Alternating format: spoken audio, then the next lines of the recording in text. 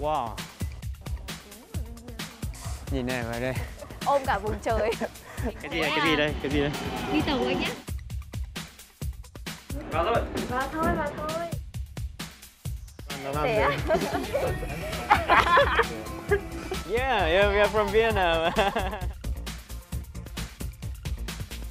Chào các bạn, hôm nay mình đến Cao Hùng mình muốn trải nghiệm cái những cái gì mà giống với người bản địa ở Cao Hùng nhất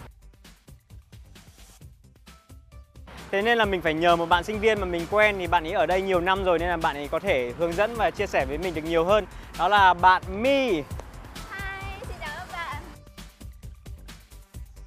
Thì hôm nay nhiệm vụ của mình sẽ là đưa anh Hazu đi à, vòng quanh đất Cao Hùng chỉ với một tấm vé là tấm vé à, tàu điện ngầm. Đúng không? Tàu điện ngầm đúng không? Và ngày hôm nay thì em cũng muốn đưa anh đến à, một nơi rất là nổi tiếng đó chính là ở phía bên dưới của trạm Mẩy Ly Tảo Bạn Huyền My đã sống ở Cao Hùng được 4 năm rồi và hôm nay bạn ấy sẽ đưa mình đi dạo quanh thành phố Cao Hùng năng động này nhé. Điểm xuất phát đầu tiên là trạm tàu điện Mẩy Ly Tảo của Cao Hùng. Tại đây có tác phẩm nghệ thuật sắp đặt mang tên The Dome of Light được các nghệ nhân Ý khảm hơn 1.000 mảnh kính. Nó thể hiện quá trình sinh ra, lớn lên, vinh quang và diệt vong của thế giới. Đây là cái thánh địa check-in mà nhiều du khách lựa chọn khi đến Cao Hùng. Các bạn nhìn thấy không? Ở đây chỉ cần quay lên này cảm giác như kiểu đang đi du hành vũ trụ ấy. Oh. Mình đang trên đường đi ờ, đón gió biển. Đón gió biển với thời Vâng. tiết hôm nay là 12 độ Thực ra mình thực sự mình ngạc nhiên là tại sao ở Cao Hùng nó lại lạnh như thế đấy. À, hôm qua mình đi xuống đây mình còn thậm chí còn không chuẩn bị quần áo rét cơ. Bình thường thì em thấy mùa đông ở Cao Hùng chắc chỉ được uh, 1 đến 2 đợt Mà mỗi đợt chắc chỉ tầm hai ngày thôi là là hết rét rồi Nhưng mà anh xuống lại đúng cái đợt rét Anh mang ờ, hơi lạnh về cho Cao Hùng. Ủa sao ở đây sao nhìn nó giống như kiểu sân bay vậy? Nhìn này mọi người nhìn này. Ở đây nhìn nó như kiểu sân bay ấy. Chỉ cần quẹt thẻ là vào được các bạn ạ.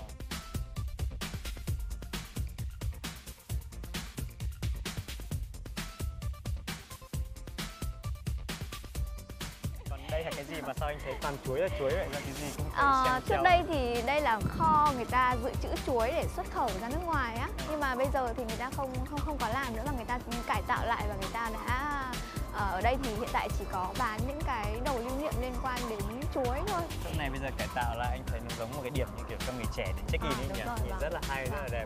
Có cả quán ăn này, có cả nói chung là những cái điểm check in thú vị đấy. Cao Hùng có cảng lớn nhất Đài Loan và cũng là thành phố lớn nhất ở miền Nam Đài Loan. Vị trí địa lý thuận lợi giúp Cao Hùng có lịch sử phát triển lâu đời, tạo nên một diện mạo đô thị vừa hiện đại vừa lưu giữ được âm hưởng của thời đại.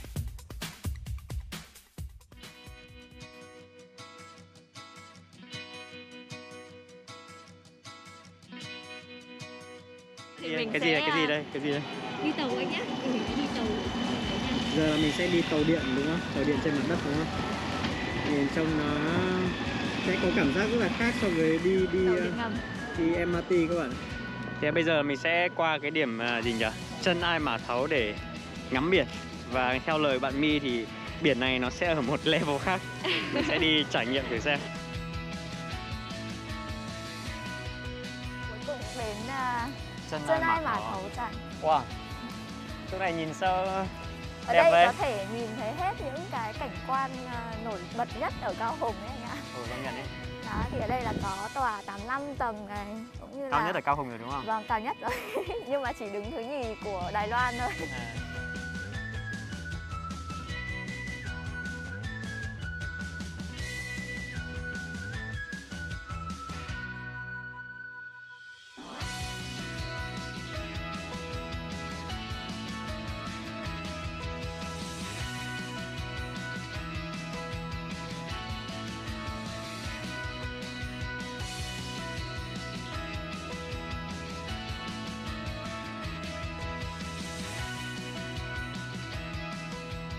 vào thôi. đi vào thôi mọi người ơi Em có sợ độ cao không? em không em là người thích ờ, cảm Thích giác độ cao mạnh à?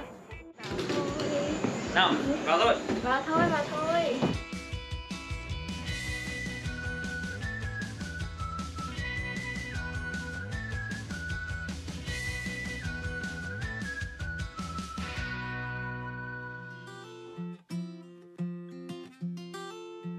Chỗ này là gọi là sông tình yêu đúng không em? Vâng, sông tình yêu anh ạ. Đây Ai hở à? Thì ngày trước thì ai hở cũng ừm, gần Anh- giống như là sông tô lịch Việt đúng Nam rồi, mình anh á. anh có nghe nói Đó, nhưng mà sau khi mà mọi người đã trinh rồi nghĩa là đã Cải tạo nó. tạo nó rồi thì bây giờ thì đã đẹp hơn rất là nhiều và thu hút rất là nhiều khách du lịch đến đây á.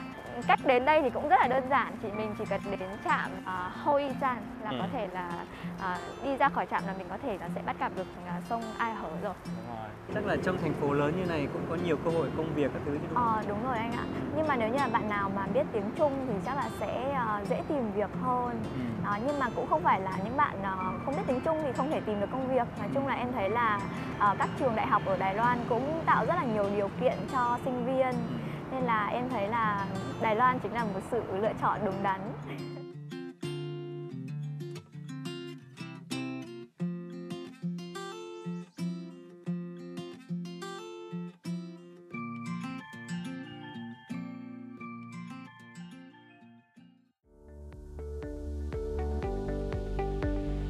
Ban ngày chúng ta đã đi được rất nhiều địa điểm. Ban đêm đương nhiên là cần đến một cái chợ đêm nổi tiếng ở địa phương để ăn một bữa ngon một chút. Để xem ở đây các món ăn vặt có gì đặc sắc nhá. Loại này ở Việt Nam mình không có này. Hay hôm nào mình à, đem loại này về Việt Nam bán. Nhưng Việt Nam phải đem kiếm mấy chỗ chợ đêm ý, thì khả năng bán chạy đấy. Có vị mặn mặn của phô mai nữa. Có sợ cay không? Em em không. Không á. ừ. À. Không ăn mình nhậu vậy thôi rồi. Ừ, cái này nhậu với bia này. Em có muốn ăn curry không? Ừ, ri. Em nghĩ là mình gọi thử Có thử ha. So where are you from? You guys from Taiwan? Um, we are not from Taiwan. Can you make a guess? Vietnam? Yeah, Yeah, you're, yeah, you're from yeah, Vietnam. Yeah, nice to meet you. yeah, how, how did you know? Uh, because of the language, I think it's very. I have some friends from Vietnam. Yeah, I see. They speak it. I think there are some like Vietnamese uh, student in your university, I meet right? my many students. Yeah. Cái môi trường ở đây cũng nhiều sinh viên quốc tế ha. You, you're very friendly. Yeah. Ở đây à, À, vừa mua được đồ, à, lại còn vừa quen được à, bạn quốc Bạn- tế. bạn quốc tế. Nói tiếng Anh lại còn được giảm giá nữa. À, Ở đây nhiều quần áo cool hết. à, Quần áo ở đây cũng rất là trẻ trung luôn. theo phong cách à, Hàn Quốc á. Trúng hết là được đấy. Trúng hết là được. Bây giờ trúng hết là được. Trúng... Ồ. Làm nó làm gì?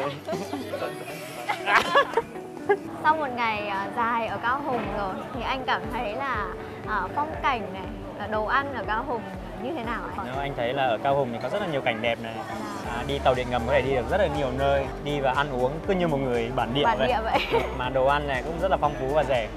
Trung Anh thích Cao Hùng đấy Hy vọng là lần sau sẽ được tiếp tục đến đây trải nghiệm. À, Rất cảm ơn các bạn đã dành thời gian để xem hết cái video lần này. Và hy vọng là các bạn sẽ tập thích cái tập video lần này Và hẹn gặp lại trong những video lần sau. Bye bye, bye, bye. Ăn, ăn, ăn, ăn thôi, ăn, ăn thôi anh ơi. Đói quá rồi. Dạ Tôi cứ vâng. thi cú chứ mà